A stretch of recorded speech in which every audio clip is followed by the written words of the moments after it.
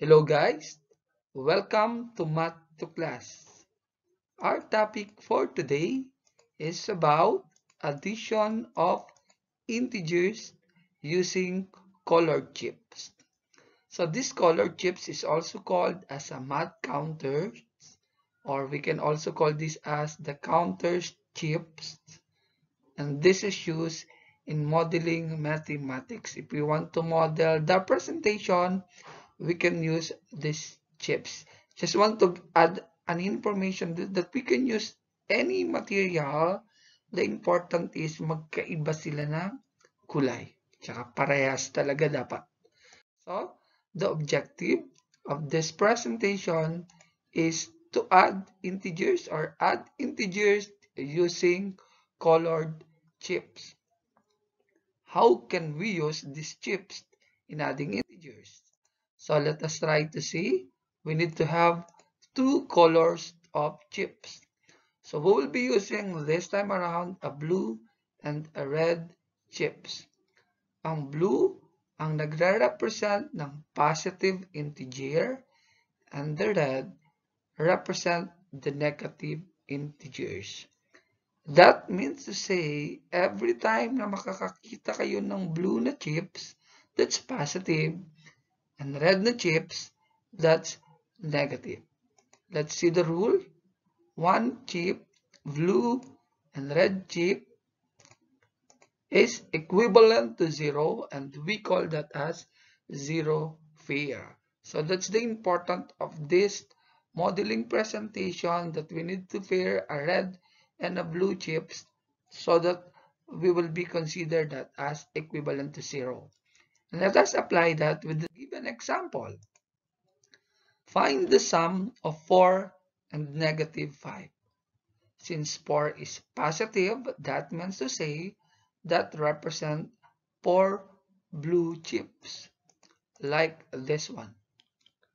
Plus, and since negative 5 is uh, 5 is a negative, then it will represent a red chips and that's 5 red chips like this. So with respect to the rule kanina, so zero pair yung kailangang makita natin. So let's pair yung mga pwede. So blue and red, that's one. Another blue and red. Another blue and red. Since may blue pa at may red pa, pwede pa rin natin silang ipares. And since it's a zero pair, that means to say that four pairs of blue and red chips is already zero. So, magpo-focus tayo sa remaining chip, which is one red chip. At ang red ay negative integer. Hence, one red chip is equivalent to negative 1. Therefore, 4 plus negative 5 is equal to negative 1. Let's proceed with another example. Find the sum of negative 2 and 4. Since 2 is negative, we need to have 2 red chips. Plus, since 4 is positive, we need to have 4 chips or blue chips like this one. So there will be fair here. There will be two zero fair. And that is this one. Red and blue. That's a zero fair. Another red and another blue. So that means to say we have two pairs or we have two zero pairs. Therefore, wala na yan. So, i-consider natin na that's already zero. So, the remaining chips ay 1 2. 2 blue chips. That means that is equivalent to positive 2. Therefore, negative 2 plus 4 is equal to 2. Okay, proceed with the next example. Negative 3 plus 7. Let us put the chips in a different, different manner. So negative 3 will represent 3 red chips and 7 will be 7 blue chips. So we have that. So, inayos ko na siya na magkakatapat yung pwedeng maging zero pair.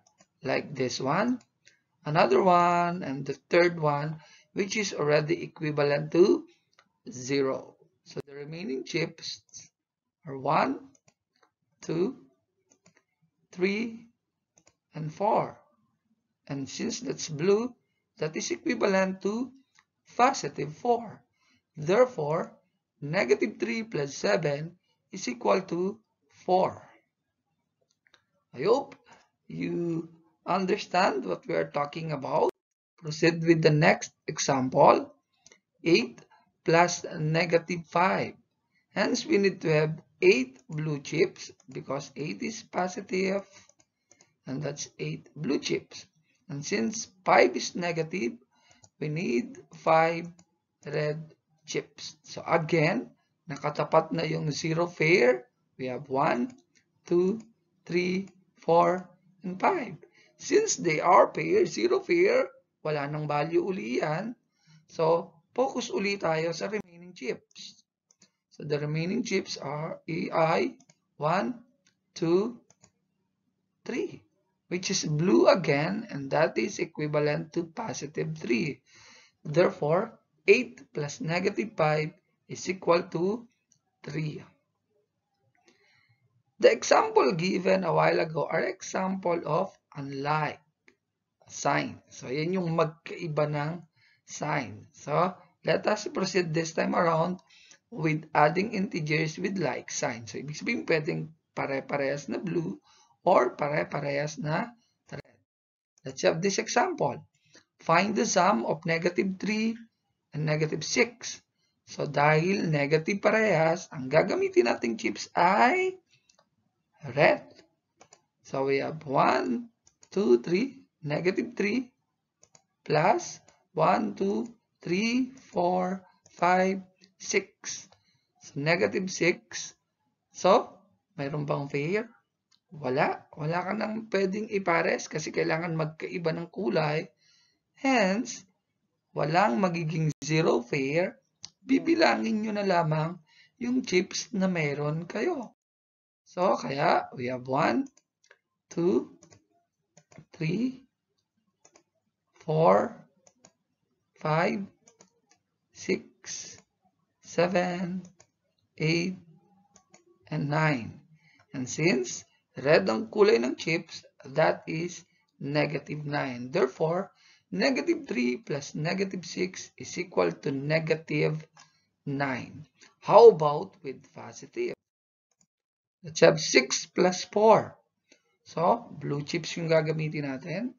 We have 1, 2, 3, 4, 5, 6 to represent the positive 6 plus 1, 2, 3, 4 to represent the positive 4. So, uulitin natin wala uling 0, pair. So, magbibilang uli lang tayo. So, we have 1, 2, 3, 4, 5, 6, 7, 8, 9, and 10. Therefore, 6 plus 4 is equal to 10. So, I am hoping natuto kayo sa addition of integers gamit ang colored chips. God bless us all. Pakisubaybayan po yung susunod nating video regarding addition of integers gamit ang number line and addition of integers, syempre gamit yung rule and addition.